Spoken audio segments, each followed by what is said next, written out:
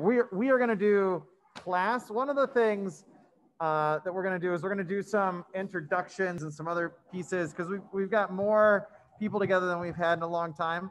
And I, one of the things that I have always hated is when I know someone and I knew their name at one point and then my, my brain dislodges that information and I feel embarrassed about it later. So in an obligatory way where I make us all do it, we're going to say our names to each other later on. But first and foremost, the new one to the party is Nora. And so here is Nora. Nora, you can wave to everybody and then wave to the people in the room. Uh, and we'll, we'll do names twice. We're gonna do it right now. We're just gonna do a lightning round of say your name. Then we'll do it again later and we'll do like say your name and favorite ice cream like later on in the, in the class. But yeah, a nice little icebreaker just because we're back to where other humans are again a little bit more and more all the time. Um, but Jamie, would you start us off with what's your name?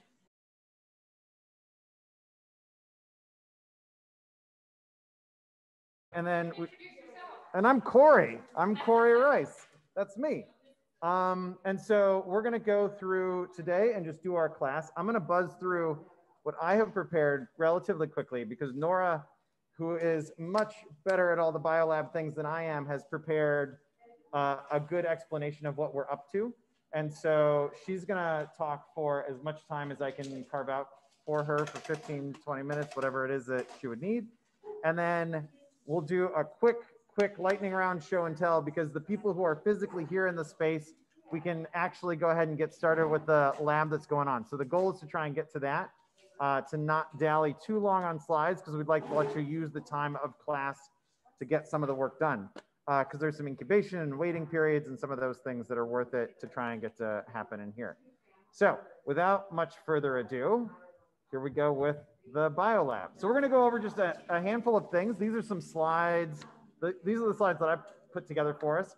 We're going to try and cover microbiology and biochemistry in like four slides as fast as you possibly can. This is like four years worth of undergrad study. So do, do not think that there's any way that you're going to fully understand it in four slides, but we're going to try and like summarize it broad strokes. Then we're gonna update you on micropipettes just because they're a, a clever little device. Um, and then we'll talk about PCR, which is a really interesting topic, given that if you've gotten a COVID test, it was probably, it could have been a PCR test. Uh, then we'll talk a little bit about gel electrophoresis and sort of the steps that go in there.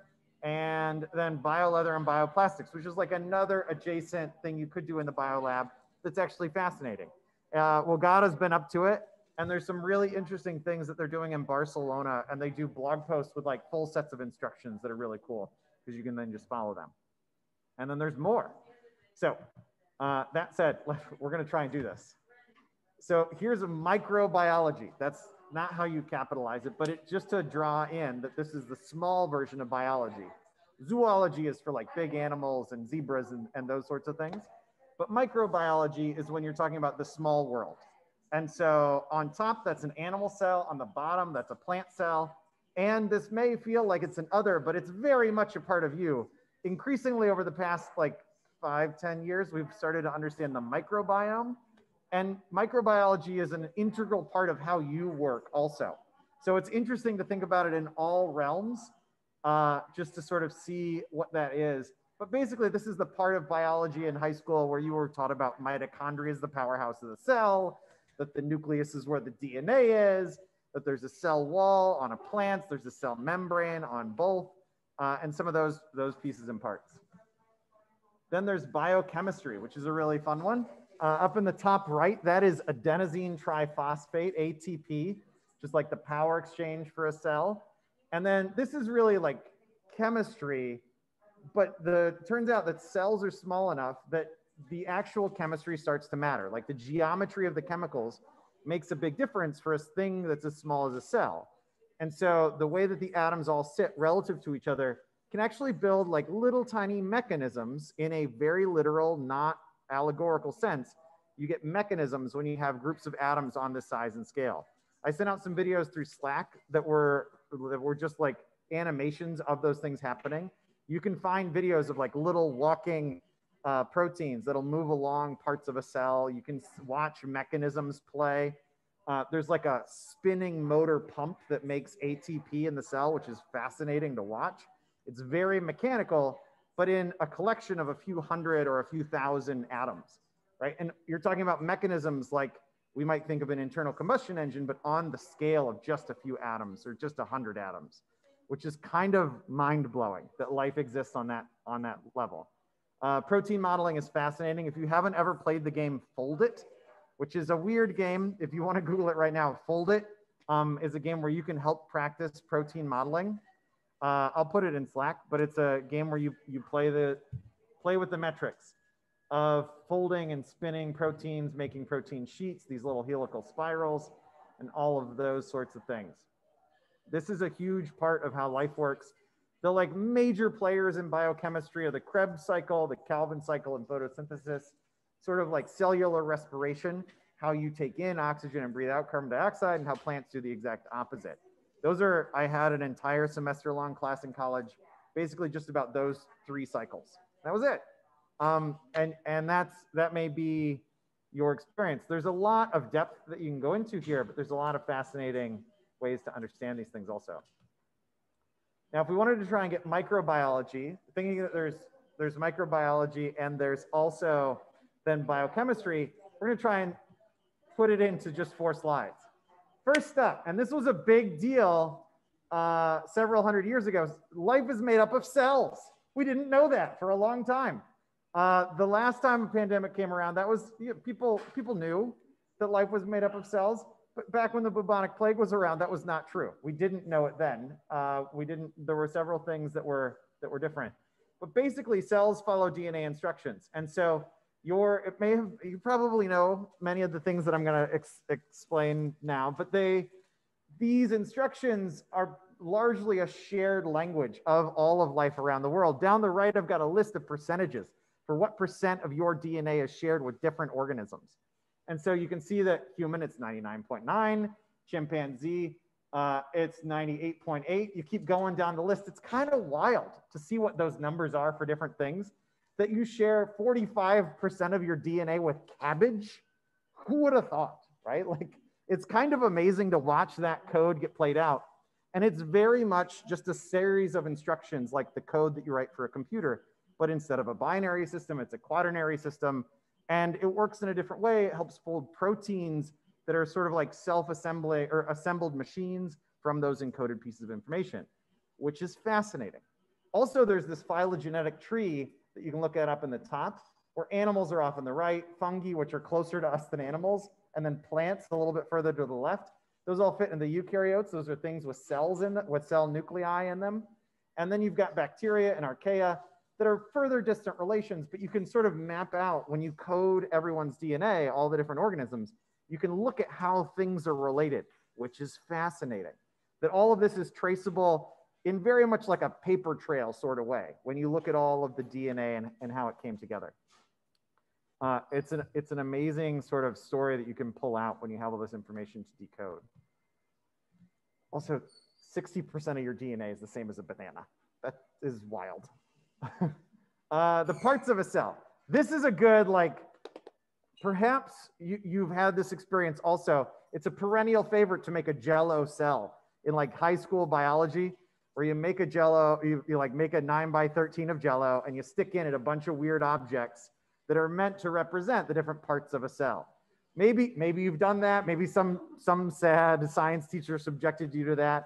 Uh, I am proud of them as a colleague and sad for you, the student.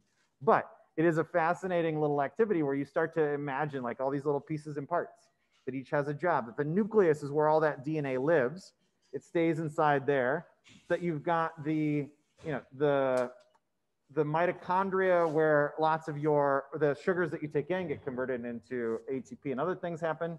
You've got Golgi apparatus. You've got the uh, the there's like different sections that each have their own job, and we could we could go with this for a long time to try and understand all of these different pieces and parts. These may feel like vague memories at first, uh, and you're not going to necessarily jump into the biospace and be manipulating all of these things, but it's good to remember some of these words. There's a large part of this week's class that's just like making sure that you've seen these words again. Not, not so much that we're trying to even really cover and understand them all, but just that they exist out there. That hopping in and knowing that, that, these, that these are all pieces and parts. Like the endoplasmic reticulum and the Golgi apparatus, those are words that you probably don't talk about in regular conversation at home, uh, but it's interesting to see sort of how they fit when you're looking them when you're looking at a cell on the scale. Now, DNA and RNA are interesting. This is more uh, a relevant piece just because of where we're at. I pulled over here, we're thinking about DNA because we're going to run some gel electrophoresis later on. The, the big thing is that you're able to look at and manipulate this molecule. It's two nanometers across, and a nanometer is one billionth of a meter. So three and a third feet is a meter. One one billionth of that, two, two one billionths of a meter is the width of a DNA molecule. But in each cell, if it's that wide, it's also about six feet long. So when you string that all out into one continuous string, and you've got that rolled up in every one of your 100 trillion cells inside your body. So we're going to get access to some of those today and, and actually be taking a look at them. Now, not everything has that much DNA. Uh, this is taken directly from the New York Times. That's the coronavirus genome up there on the top right. And then the bottom right is the B117 variant, the variant that right now is, is giving schools a rough time. And you can see they've mapped out where all of the different changes, the, the mutations exist. And most of them you'll see are in the spike protein. So what it does is it takes the spike protein from looking kind of like an exclamation point to looking more like a triangle. And in so doing, it seems like it connects better to humans, which is not good. I'm not saying that that's a good thing. Uh, it's just that it's interesting that a few little changes in the code can adapt the shape and effectiveness of how this particular virus that we're all right now poignantly aware of it works, works with or against us. Um, also worth mentioning is that DNA is what we, we're going to talk about mostly, but RNA is another part of you and how that information gets stored and transferred.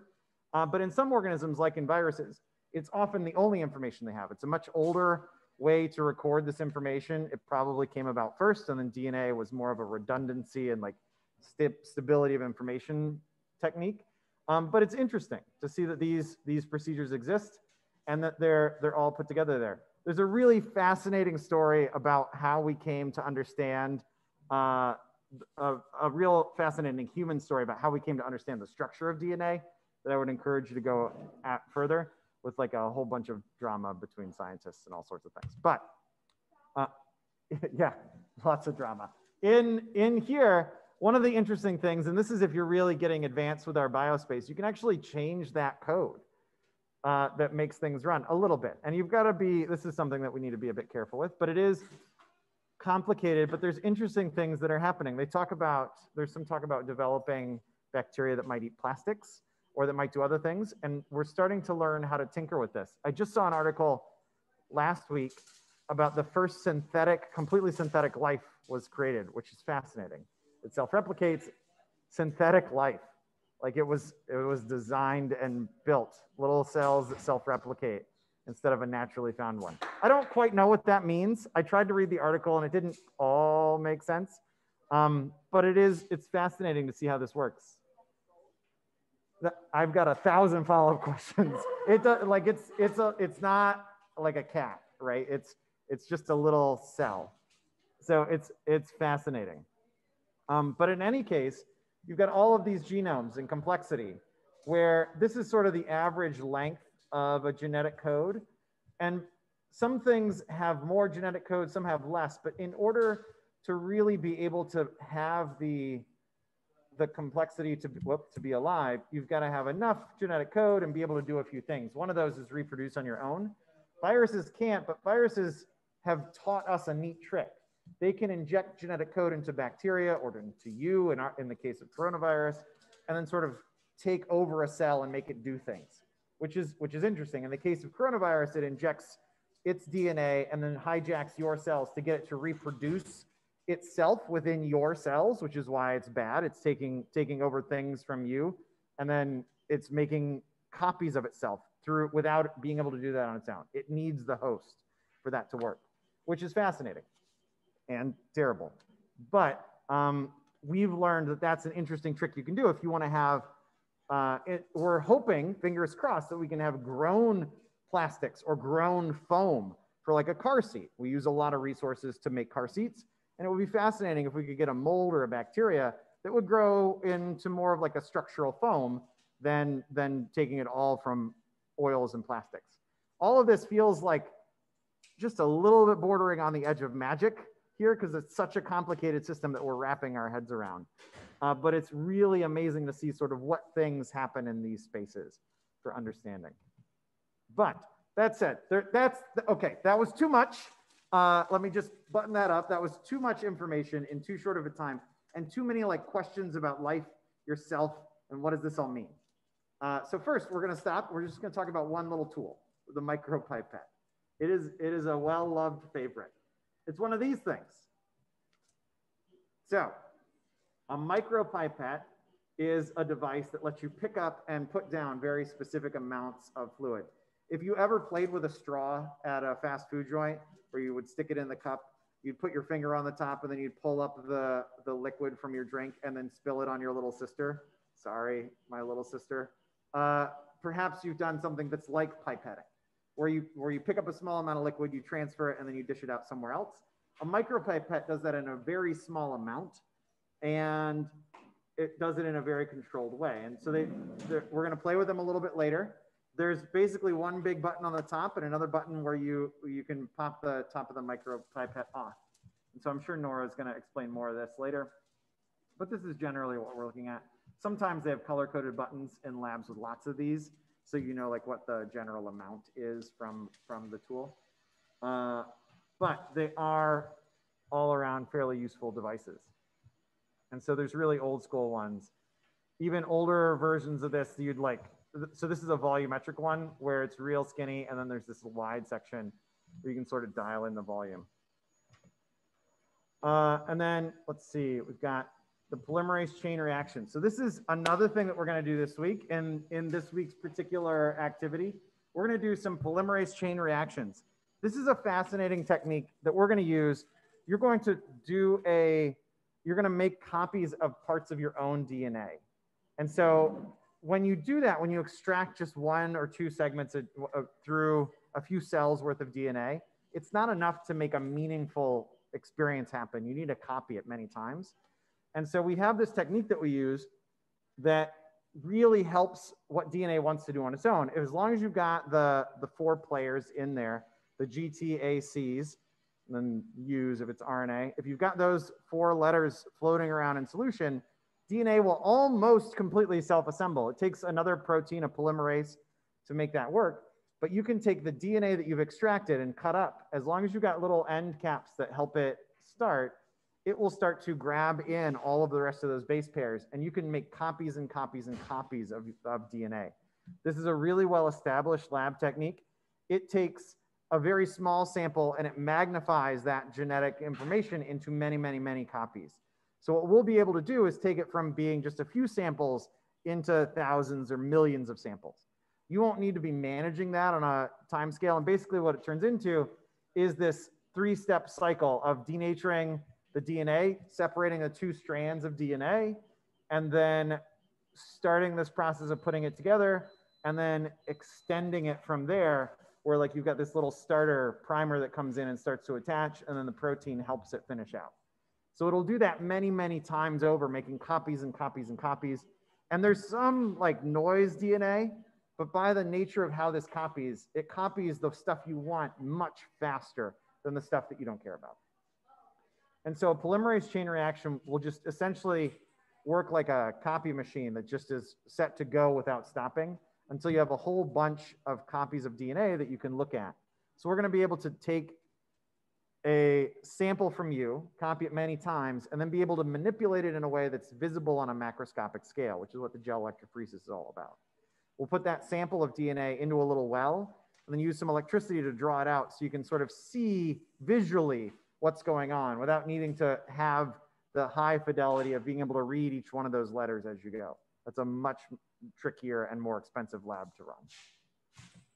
Um, but in, if you wanted to see this, here I've got this, and let's hope that it's on mute. Oh, it is on mute.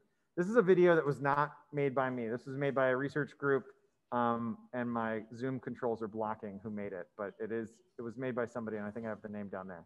But this is something that I think is best understood by looking at it that you can take a sample, like maybe you have a bone or something, you get DNA, and then you run this PCR.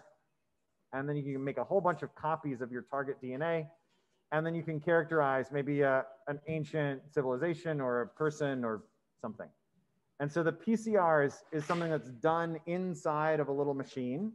And so in there, you've got this thermal cycler that will heat it up and then sort of cool it back down. And it manages the temperature in just a way that it, that it will go through. If you've played with the thermal, uh, thermal paste and the thermal oven for soldering, it's actually pretty similar to that.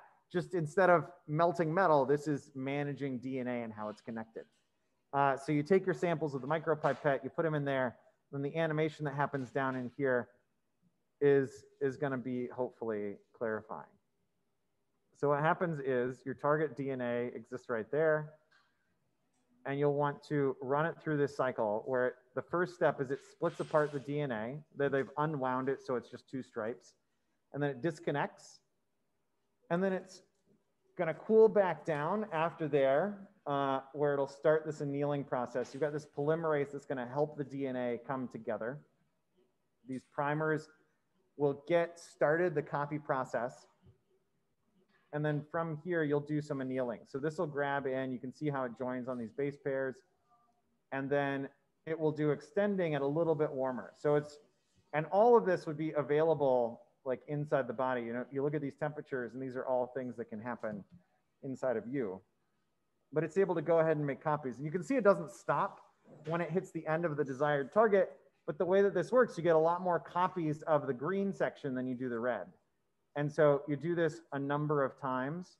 The first time or maybe the second time, it doesn't help as much. But as you keep going, you can see that there's some shorter sections and you get lots and lots and lots more copies if we keep multiplying this out. This game keeps getting played and you'll eventually have many, many copies of the target DNA and only a few copies of the fragments or extras. So almost everything that you're looking at will be the target DNA through this PCR technique, which is fascinating that you can make copies of a target piece. And there's some noise in that, but it's still, but it's still really useful. They're using decimals because this is a European thing. And so decimals instead of commas is that's its own whole thing. But uh, in here, it's the polymerase. Oh, head back. I should show you. Here's the lovely people that made it. Good on them for making this animation. I really appreciate it. That was good. Uh, but then what do you do once you've made all these copies of DNA? We're going to run gel electrophoresis where we run through and, and do this. So you might have seen pictures of gel electrophoresis in like a CSI sort of situation. This is really used broadly in some of those forensic game things. And, and well, even that's usually if you get a, a package lab from Flinn Science or Ward Scientific, major like educational science suppliers, they'll often package it as a CSI game for gel electrophoresis so that it's fun and catchy for students because CSI is very popular. Don't get me wrong. That's a that's an important part of understanding this. But you can take DNA that you've put into these little wells you see here on the left. You apply a big voltage, and that voltage will drag those DNA copies through the gel. It's sort of like a mesh that it takes effort for them to get through. The smaller segments of DNA go further. The longer ones take a longer time to go through. And what you get as an end result is like a fingerprint that tells you relative proportions and, and how much of different types of DNA segments you have. So you get this little coded out, output that is very much something that you can use to better understand are two samples related? Are they identical? Are they connected? Are they not? You can start to understand things if you can read the, the code that happens in this sort of like bizarre barcode. And so it's, it's interesting. For our purposes, we're just gonna sort of see what happens um, but it, there, there are ways to do tests like this where you're, you can identify that someone have a specific gene that would make them more susceptible to, to one disease or another. Or do they have a, a, a gene that would make them uh, resistant to something? You know, there's a whole bunch of reasons why you might use gel electrophoresis. We're going to do a pretty benign, like it's just cool to see the process happen. If you want to get more like down into the weeds about what type of things you can test for with it, you can sure do that. But we don't want to like surprise anybody with genetic information you may not want to know. So um, that is that is what we're going to do this week. Next up, we've got bio leather and bioplastics. And this one I want to talk about for a little bit also. This is, we're not going to do this deliberately this week, although Ogata is trying and we support those efforts. But there's some really cool things that can happen surrounding bioleather and bioplastics that are being done in Barcelona and in other places. But Barcelona is really doing a great job of leading this charge. Um, they have an event called Remix El Barrio where they're trying to figure out what to do with food waste from restaurants through Barcelona. And so they're trying to come up with creative ways to use that food waste to turn into materials like leathers or sort of plastic replacements, things that can be used to make either pieces of art or garments or handbags or any sorts of things that, that could be used from those materials instead of just throwing them away, which is fascinating. There's, there's a photo out there somewhere, and I would need to dig it up, of an orange peel leather jacket that somebody made with a do not touch sign. I'm sure it's good uh, to wear, but you know, it's one of those show pieces that you maybe don't wear that often. Uh, in any case, there, this link that's in the slides that you should, that I'll also put in the chat is like a, a blog post, but it's a how-to guide for how to make many different versions of bio leathers. So it's not like a, they can do this and there's one photo posted and there's no instructions. They actually do a really good job of putting out information on how you'd make something like this. So there's, there's a ton of info about this particular realm.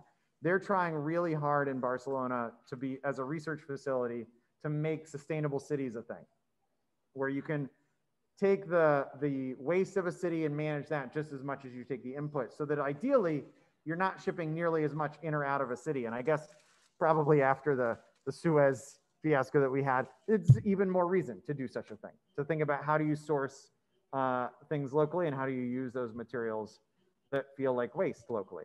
So there's lots of interesting things to think about in here and tons of potential if you can have like imagine the value in well and the obvious one is biodegradable spoons. Some places have made those like mandatory for takeout. Uh, but if all of your silverware or if plastic bags would biodegrade in two years how big of a difference that would be right? The there's a lot of opportunity here and if somebody can really nail it if somebody can make perhaps make a perfect bacteria that grows a plastic or you make something that will biodegrade these or you know there's a lot of opportunity in how you can make these things work really well and put us towards a whole new future um, but it's there's a lot to understand there what's up Wagata? I, you know, I, off the top of my head, no, but I know that it's been like a dream for a long time. I should have Googled that before we started here. Uh, I've seen reports of it being true online, but in the you read it online, I don't really know if that's real sort of way. Not in a not in a academic journal. Perhaps Nora knows more about that. No, doesn't exist.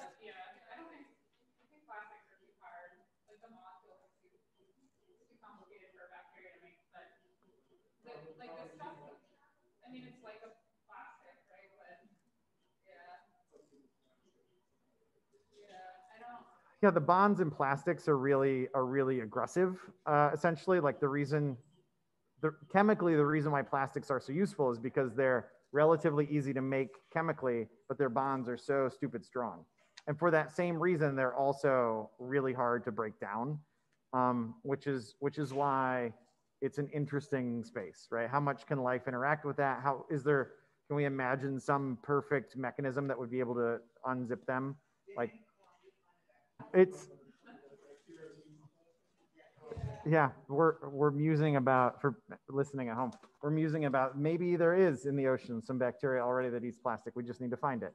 Um, so we're you know there's many things to think about, many ideas here. There's there's lots that could be understood, that could be better developed, that you could that you could explore. Um, and this is a space that really is just like of of the maker spaces in here, I would say that like 3D printing is cool, but it's now a niche that's been established for a long time. The biospace is one of the newer regions, and it's it's newer here, but it's also a newer like maker space that has existed. Um, there's some links that I'm gonna put, point to towards the end of the slides, uh, but it is a space where there's really some growth potential. And if you wanted to get out in front as an expert, it's it's probably possible. Um, so those are fascinating things to take a look at. So what are some next steps? Let's say that you're interested, and I assume that we all are.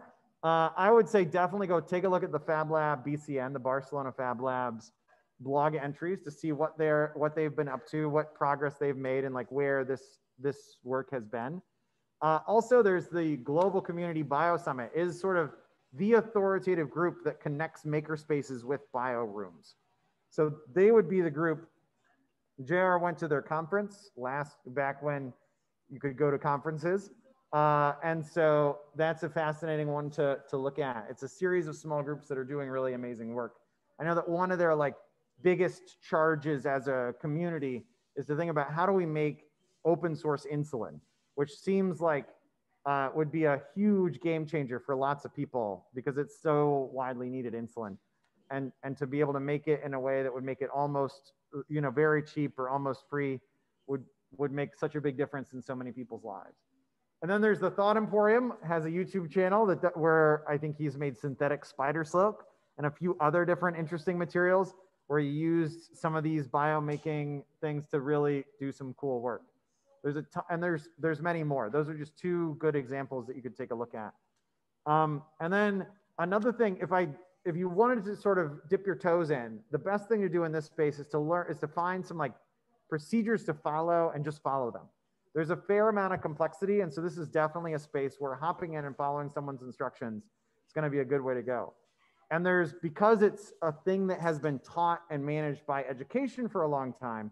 If you can get your hands on like a a good lab example, a good set of lab instructions, like we're going to follow for our like prescribed thing this week, it can be really helpful and really help you manage your way through steps A to B, C, and D so that you do all of those and you follow the instructions. Once you've done a few of those, then there's a whole lot more once you have some context and sort of your bearings. But there's a lot in this space that you need to learn because it is, it's very complicated very, very quickly not to say that it isn't knowable, but it, it's something that definitely people can commit entire lifetimes to understanding.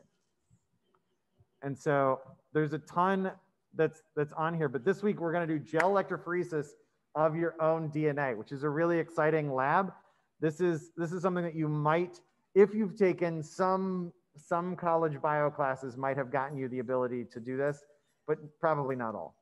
And so we're excited that this is something that we can do here we want to give you the opportunity to do here.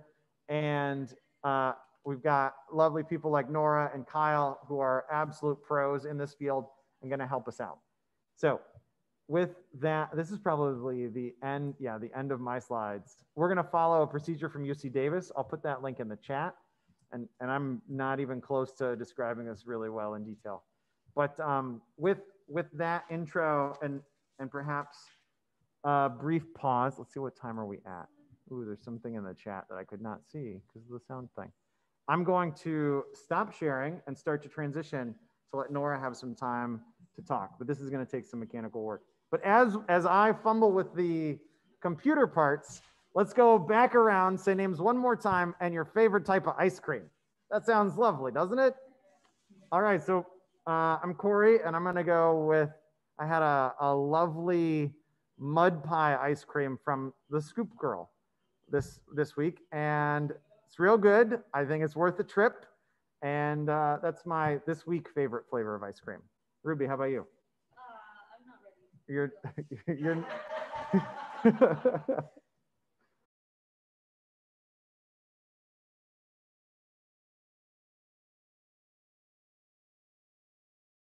yeah. Yeah. What's your favorite ice cream? I I made some ice cream yesterday. Uh, that was that was cool. Uh, I guess you could call it ice cream. I took a bunch of frozen bananas and I put them in a food processor with a little bit of oat milk and uh, some maple syrup and some walnuts with some dark chocolate chips, Ooh. and uh, it really hit the spot. It was really, it was like. Yeah, that's good. That's awesome. There's an ice cream maker here. There's I also have one at home. And as when we consider the foundations party at the end, maybe I'll bust out grandma's like too many raw eggs to be healthy ice cream recipe that we can that we can enjoy. So there's there's options like that, um, which feels bio-ish. We're we're part of bio. We need ice cream.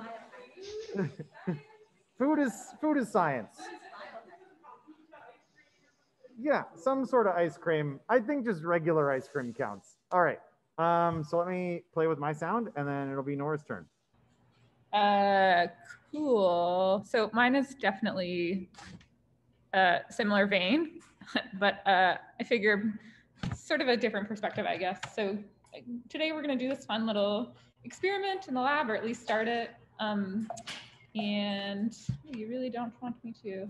So uh, all of your, you're obviously made up of a lot of cells. Uh, as you might know, like basically every part of you is just different types of cells. And uh, I think Aaron, you mentioned in the comments that all of your cells have your DNA. So this is why they can like take cigarette butts and get people's DNA out of it or, t- or get their hair or their fingerprints. Like all of your cells have your DNA. And so one of the easiest ways to get DNA is from just like rinsing some water in your mouth and you can spit out and you've just gotten a bunch of cells and those cells all have a lot of DNA in them. So we're gonna get some from our like cheek and tongue and mouth. Um, and the uh, DNA, the term we use for like the individual little parts of DNA is called bases. And so when you think of like the double helix is what I think of DNA, the stereotypical image, all of the little lines, each one is called a base. Um, and all different groups of bases, so like different parts along the string are different genes. So like you can have gene A is in one part of the string or gene B or whatever. Um, and all of these genes tell your cells what to do. So you could have a gene that's on one part that's like hair color or blood type or height or how you look or how much you weigh.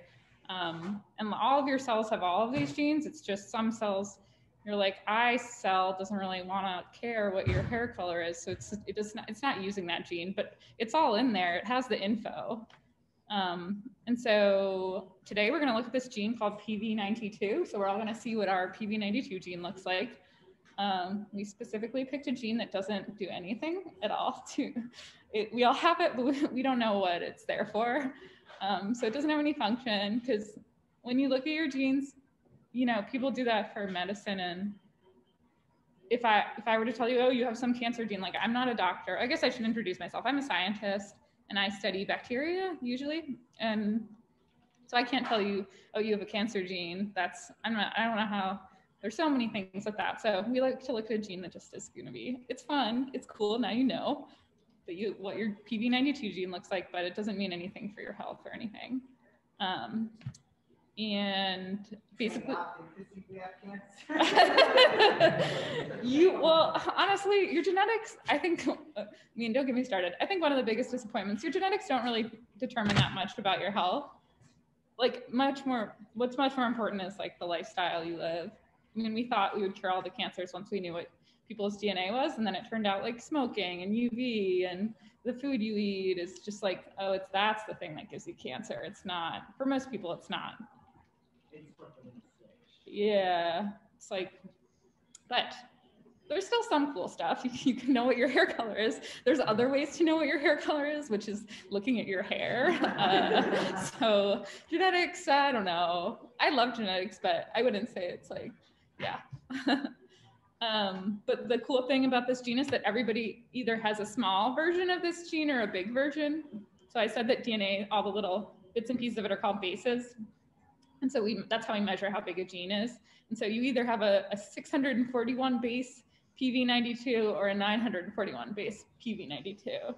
Um, so we're gonna see exactly those numbers. Yeah, like we're gonna see how big your gene is. Oh my God.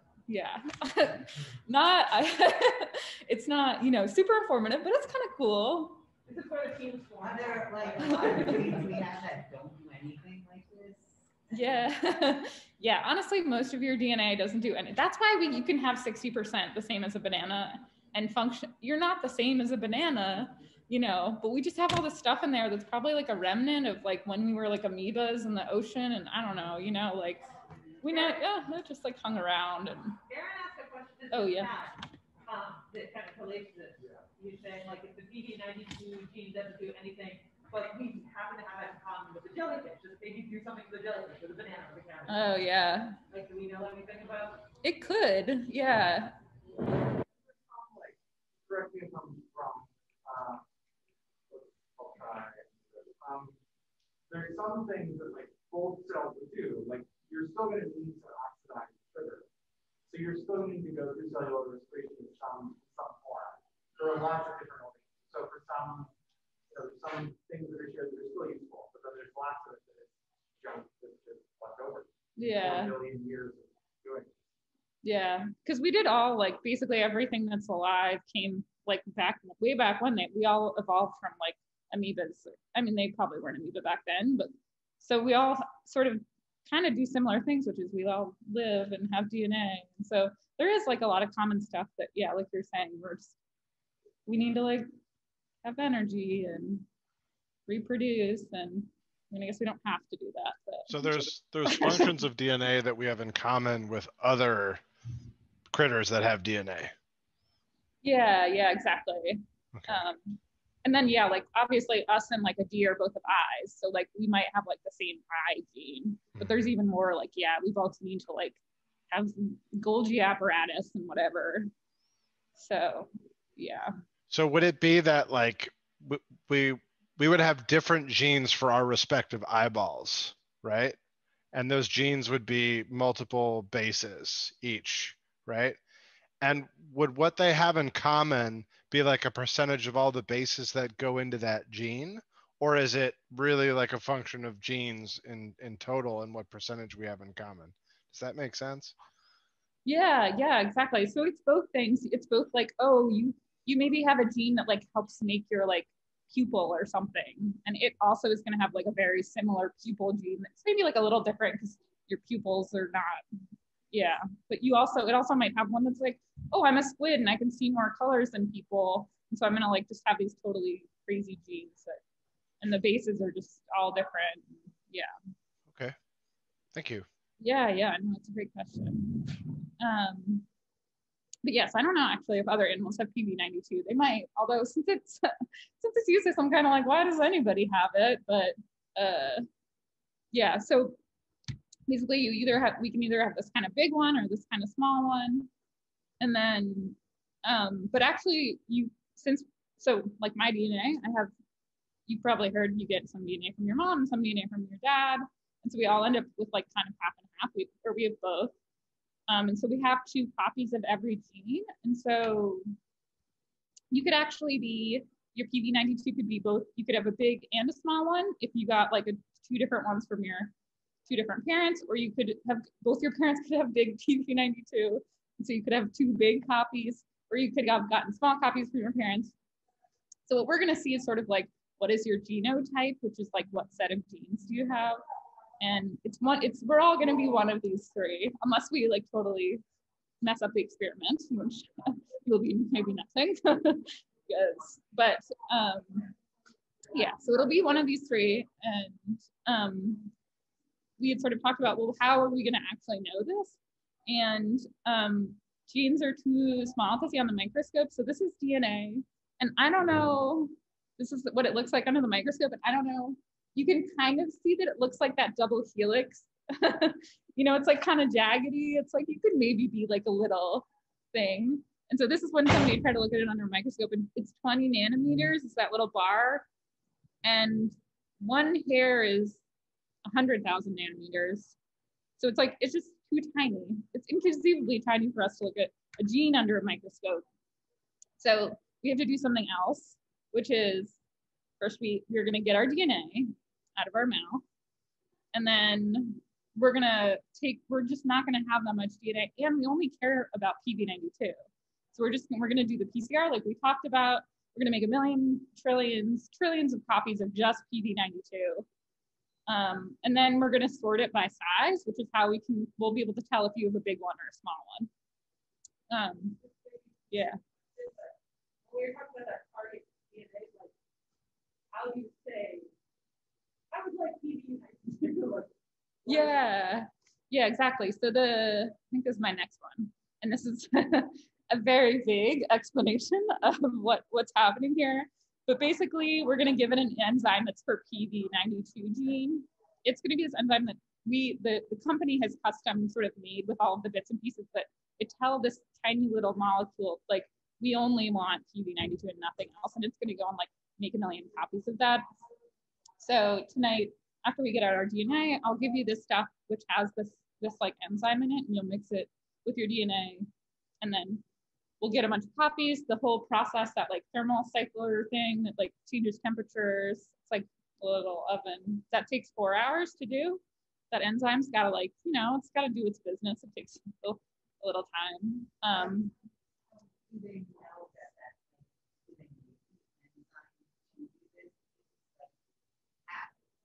yeah. Um, yeah. No, it's kind of crazy. You can literally like we figured out how you basically this enzyme will copy any DNA you want, but if you give it like a little tiny piece of PV92, it like tells it it it just knows like molecularly when you give it a little piece, it's like, oh, that's what I gotta go search and copy. So like um it'll be like, oh, I guess you can't not everyone can see if I get up there and poke at things, but it'll like the the bases that are in PV92 are pretty like that's the only piece. That's the only place you can find those bases. And so when we give the enzyme like all those bases, it's like, oh, you want me to go find this and make a million copies. It just like knows. That's yeah. Yeah. Yeah.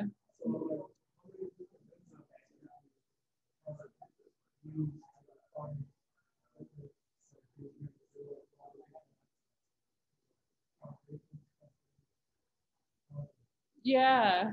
Yeah, there's really, they basically, when they figured this out, there's this one enzyme, it's called like a polymerase, and it, we have it in our own cells because we need to make copies of our DNA when we like, like every, whenever you get new skin, like every couple weeks, your skin replaces itself. And so you need to make new cells and you need to make new DNA. And so we actually have this enzyme.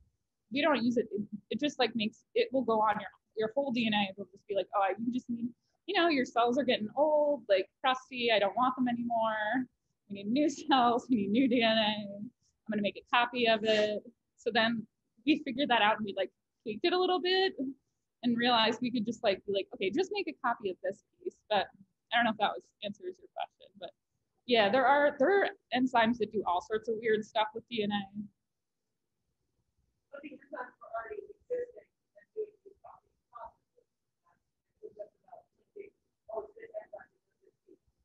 Yeah.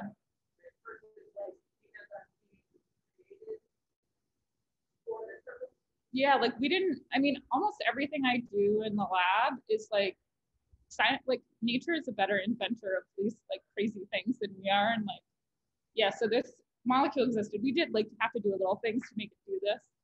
Um, but yeah, it's basically, it's out there. Um, yeah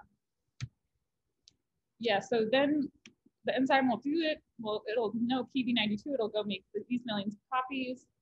Um, and then this is my very rudimentary drawing of what happens next, which is the, it's called gel electrophoresis, and it's how we're going to sort the DNA by size. So basically, you take we're going to take either your big piece of, of PV92 or your small piece of PV92 and put it into this gelatin. It's like it's called agar. We actually use it in food stuff too. So you I would not eat the stuff we have in lab, but uh, it's great because it actually like uh, it forms this like little matrix that's molecular, and so we put our DNA in, and it turns out that DNA for whatever reason is negatively charged, and so if you run a current through the jelly, the the DNA will get pulled towards the positive side, um, and so it'll move through this jelly like kind of slowly, like wiggling its way through towards the positive current, but the bigger pieces just get like kind of stuck on the jelly.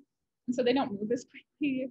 And this is how they figured out how to like sort things by size, kind of, because then the small piece kind of like moves towards the positive anode or cathode or whatever uh, faster than the big piece. Um, and so then in the end, we kind of looked at these. You guys will see it better in in there, but basically you can see how uh, the different sizes of stuff is, like how many base pairs it is long. And so we're either gonna have that like 600 or 900 piece, and we can compare it to the, on the farthest left, that like sort of column of bands is just like a marker that tells you how big of the piece it is that you're looking at. But then we'll, we'll have, it'll tell us like, oh, it won't just be these random bits of DNA floating around. It can be like, oh, you have the 600 piece and you have the 900 PV92. Yeah, yeah, exactly. Um, and then, yeah, so basically, And then in summary, we will sort of know we can, we've gone from getting our own DNA and then to knowing exactly like what this little piece of DNA that's inside of us is just really cool. Um, hmm? Um, it's a hundred volts. I don't know if that's all. I don't have a metric. That's like how much is yeah.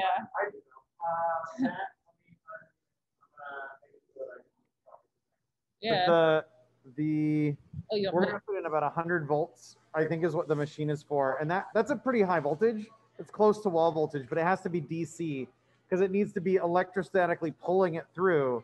It's the some of the ions on the ends, some of the ends of DNA sugars are charged. And so that negative charge is where they can get and pull, you can pull the DNA through because of those charges that are built up. 100 volts is enough that it moves across, but it's sort of a balance. You could hit it with 400 volts if you wanted, but then it would move across the gel too quickly. You risk like tearing things molecularly, not like on a real scale, but um, you, you don't want to go too low of a voltage because then it would be too slow of a drag the like voltage that you pick helps set the rate of it going and you have to stop it before you hit an end. Like you don't want to let it you don't want it to go so fast that it hits the end before you stop it and you don't want it to take for forever. So hitting that 100 volts is sort of a balance of how charged is the dna versus how much supply can we give it. Uh, dc can be any voltage you want. 100 volts DC is a pretty rare circuit size. Um, like 110 is AC is what you get out of the wall. To turn that into a DC voltage means that all of the electric force is always headed in one direction. If you instead hooked it up to AC, instead of moving in one direction, they'd be sort of pushed back and forth through the gel, which wouldn't move them anywhere. We want one directional motion the whole time in the gel. So that's what that part is about.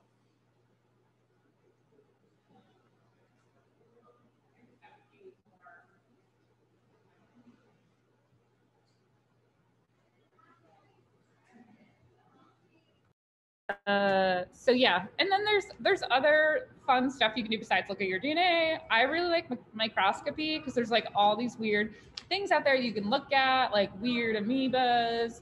I don't know, it's not like maybe the most like clinically relevant thing you could do, but if I love to like just get if you get water that's left over from like if you have flowers and then the water gets kind of weird looking after a week, there it's like all these little there's this like whole little ecosystem happening in there. So sometimes in grad school I would just like take some of that and look at it under the microscope and be like, I'm the lording over my flower whatevers. Um, we also you talked about the engineering bacteria, which is something um, I've done a little bit of science with. You can make bacteria that glow in the dark. You can also make bacteria that can like sense poisons in the water or bacteria that like and we try to make bacteria that make plastics. Um, so there's a lot of potential there. Uh, also, that we talked about biomaterials, some really cool stuff. We're also working on a lab to do water testing. Um, I don't know if we have all the stuff yet, but that would be pretty cool. Um, and yeah, uh, if anybody has any other ideas of things they want to test out or projects, I'm I'm around. So. Yeah, there's, there's so. Yeah. There's so many crazy things to like think about and do, but when you consider the science of it, the like just learning all the techniques of a space like this is really exciting in and of itself. Like to do these things, to look under a microscope and see the little swimmies moving around is really cool. And like that's totally worth doing, even if you don't really know what they are. It's worth just looking at for the sake of there's a whole other scale that life exists at. Um, but the, the things that you can make in a biolab are fascinating and they're very complex. You can go the full range of like make some plastic from an old orange to all the way like I'm inventing a new bacteria that will solve some problem in the world. So there's a ton of range that's available. They're not all equally easy. Don't don't get me wrong. There's a lot of complexity in this space, um, but it's also a fascinating one that has the ability to change lives in ways that we like we can't even wrap our heads around yet. Um, so there's there's a ton of really cool stuff. that can be done in in this space. And so I really look forward to seeing something wild come, come out of Yeah. there. But yeah, uh, yeah. Any other questions, thoughts before we're gonna do show and tell briefly, and then we're gonna get to get to doing. Questions? No. Okay. Uh, let's do show and tell then. And Nora, if you would stop presenting, we'll just do show and tell, and I'll turn my yeah. Oh, thank yes, you very thank much. And we're I'm going to let's see, make some changes on my system. So we're good here. Okay. So let's see. Aaron, can you hear us? Oh, you're muted. Yep. I'm- yep. I can hear Okay, you just great. fine. Cool. Um, so we're gonna do show and tell, and we can do anybody who wants to can can go for it. There's there's tons of options. Interfaces was definitely a more open-ended week. So hopefully you had something fun and interesting that you did that maybe was interface related, maybe it wasn't. This is, this is not a place of judgment in any way. So we're just happy to hear like what have you been up to for the past week. Um, and if anyone would like to go first, you sure can or I can I can pull up this one thing that I got that I was working on. Yeah, let's go for it, Kate. So I was thinking, I don't know if, if Aaron is, is there and can see, um, I can try to bring it with us, but basically I had this plan where I was going to look at the MakeHaven website in terms of user interfaces, because we recognize that most things take way more than three clicks and there's a lot of stuff that we wanted to work with there. And then I saw this YouTube video and I'm gonna have to go back to user interface because I saw this YouTube video and I wanted to try things um, and it was really fun. So I ended up checking out uh, combining the laser cutter CNC and the water jet CNC. And I used the laser cutter to create um, a border on the outside and then used the water jet to cut glass to try to make some CNC stained glass. Of course, I used it to cut glass. You all knew that was coming. Um, so if people who are here want to come over to the light table, I can show you what, I mean, 'cause it's not assembled yet, but you can see. Take me with you. Because that was kind of fun. Um, yeah, Woo, it's a field trip. This is great. I don't know if anyone, if I may just need to send Aaron a picture. I can see it. Yeah, I don't think you can hear me. This is what I'm gonna see if Aaron can see. Oh, Aaron can see maybe. So there we go. I think Aaron can see. Um, so that's actually what you're looking at is cardstock. Uh, I mean, like mat board because I had some trouble with the acrylic, so that's just sort of a template. But then all of these, they're not attached or anything. All of these are the glass pieces, and I cut those in um, on the water jet. So I just designed this in Inkscape, and then cut all the pieces out individually and then this is just the frame and I'm gonna attach them together. So you'll see a final project later, but that's, that's where that was and it was really fun. All right. So um, just just so that you don't have to go immediately after Kate, here's what I've been working on. Here we go. This here's the setup. You'll be able to see it there, but I'll turn it back over here, making sure that it gets into the recording. But this is a strip of LEDs. If I pull this off, I this has all been CNC'd. This is then a laser cut mat board and paper. That's just paper that it's going through. Those are all glued. They're just the tape backing. And then I figured out what the numbers of the LEDs themselves were. Now this is like a point where I can do some animating for how current flows through this circuit so that I can show how that works. And with paper here, it seems sort of dumb, but it's a lot cheaper than acrylic. And if I line it up right at about a, a half an inch away, it's a nice diffuser where you can still see what's glowing, but it doesn't look like discrete LEDs anymore. So I've got over in the other, in the electronics area, I've got some origami that I designed to be like half inch standoffs so that it's all paper. It's nice and easy to make. It's cheap. It's, you know, it's kind of meditative to hold, but then it'll hold that mat board off about a half an inch. And so then I've got to do, I was hoping to get to, but didn't. This is my interface panel. And so I need like a big toggle for it has a resistor, doesn't have a resistor, and a button for what happens when you press the button. So like pressing the button here would press or unpress the button there. And so you can start to imagine what happens to the current flowing in these circuits, like as you're doing your thing. That's the goal. Um, this is taken months. I started this, I looked at my last like timestamp on this thing. It was like early March. This is actually the month ago today. So this is a long, slow process of getting there. Um, but in time, it, you know, we're making our way. But it takes it takes a lot of effort to get to something like this. And all I did this week was just like finish my my um, start start working on the code for how do I do this animation stuff. That's really all it is. But that is thanks. Yeah. Oh, you can you can do it. You made a cool thing. Hello. Um, I'm gonna share my screen. This week I made, surprise, another lamp.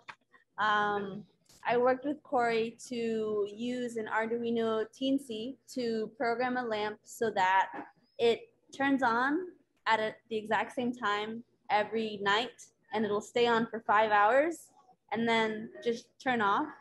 And I wanted this lamp, um, originally it was gonna be a light sensor like that will detect when it when when night falls or whatever or like a sound like activated lamp but um i think this works better because it takes less thinking for me in the moment like to clap or to like i don't know i guess the light isn't that doesn't really connect to what i'm saying but um i want a smart home but i don't want it smart i just want it to do it you know um, if that makes any sense.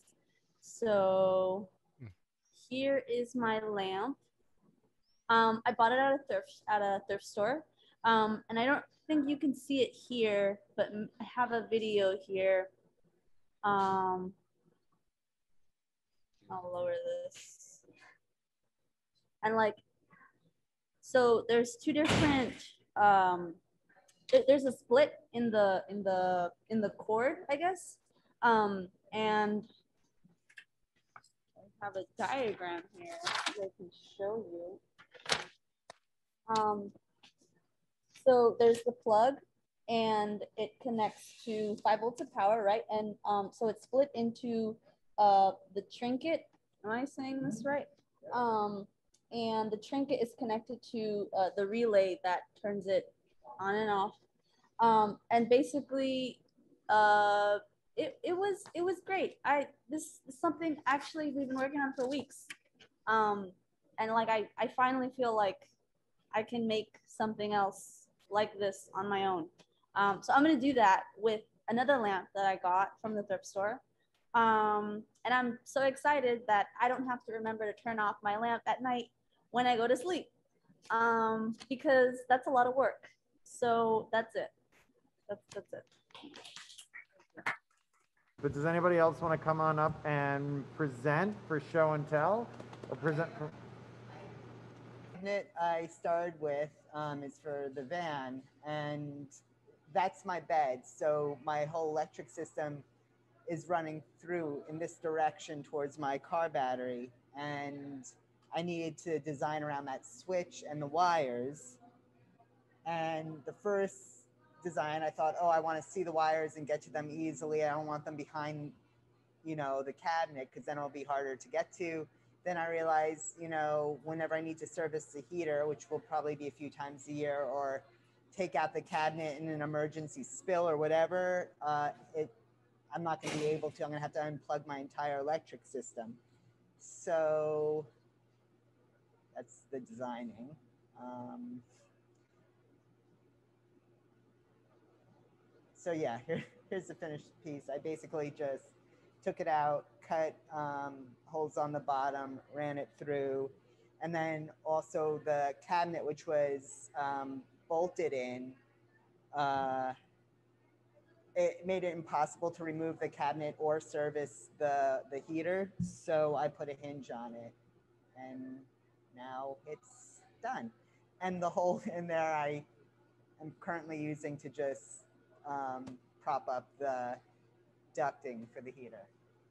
So that's it. And then uh, I'm also, uh, one is personal and political, but I'm really proud of it. uh, I'm in a lawsuit to add non-binary to the New York Yeah, it's exciting. Yeah. All right, cool. All right, then let's see. We got Lila, Eliana, and Wogata. Okay, sure. No, no problem. Oh yeah. Lila taught a tough thing class, and that's that's worth just like a little yeah. Way to way to go. Yeah, yeah. Uh, oh, I I I do want to see a video, but maybe maybe not this moment. Yeah, that's, yeah. Good. And then Ileana Wagata, either you have things you want to share or just like, it, it's been a busy time. So a few weeks ago, I worked on bioplastics. Um, I think it was tapioca starch, and then also like a hemp seed and like uh, like guar gum. I think base is is I think that's it. Up. Uh, so uh, the tapioca starch one, uh, it was like vinegar. Uh, what else? Maybe like a tablespoon of tapioca starch. Um, what else? Like distilled water. Uh, I cooked that for probably like about five minutes until it got like to thick gel. Uh, I, I, put it over uh, wax paper. I let it dry for a few days, and uh, it was pretty strong. What I was hoping to do was to take two uh, dishes, put it between there, and maybe uh, it's like these these two rectangular containers, and maybe it could mold to that. But it was pretty thin, and once uh, the humidity went up in, in the apartment, then the integrity of the plastic would drop like quite a bit. So I'd like to make that stronger uh, next time I build that. I also used uh, hemp seed and and uh, guar gum. So pretty much vinegar, all the same ingredients. Uh, it was pretty, it, it was pretty crumbly uh, when it came out. It was almost like uh, it's like a just a stuck, a thick like oatmeal paste type consistency. It was pretty clumpy as well. I'm not sure what I could do to get that stronger, but I'd be interested in playing with that a little more. I think maybe like some, kind of like with uh, with composites, maybe fiber. Maybe I can get some fibrous material in there uh, to get it uh, a little more I guess, holding together uh, after after I'm done uh, making that. So if I have some time this week, I, will probably play around with it a little more. We'll see. Good go. All right. Ileana, do you have anything you want to share? Okay, I'll I can pull up the Slack link and here we go. And then I can, you know what I realized as you were recording, Kate, is I should have shared my screen for the last one, for one of them. Hit share and then. Um, so this is potentially, potentially dot, dot, dot, not sure yet. Um, my make something big project.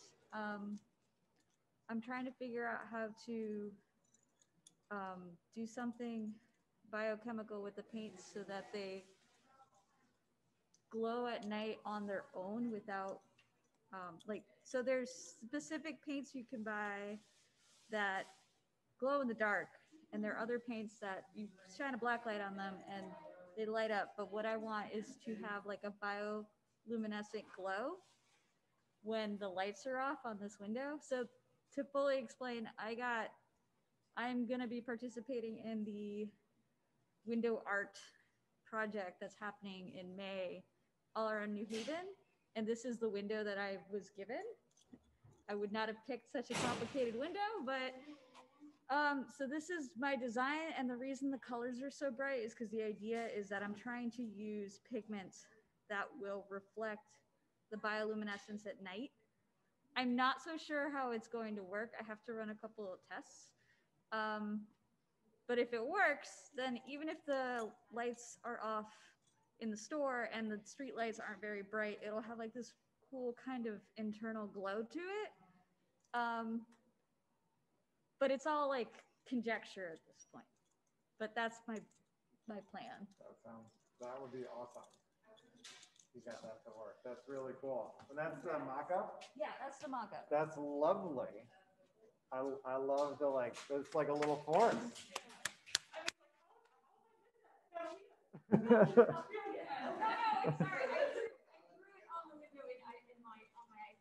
yeah, yeah. Yeah, that's the mock-up. Yeah, the snake is is adorable. All right, so we did our show and tell, and so we're what we're gonna do is sadly probably leave leave Aaron at this point. Sorry for the Okay. yep, but um, but the the main thing that we're gonna do is try and get everybody started on this biolab stuff. It's real exciting. We're all here. Uh, we can we can go ahead and get started. So um, without any further ado, go for it.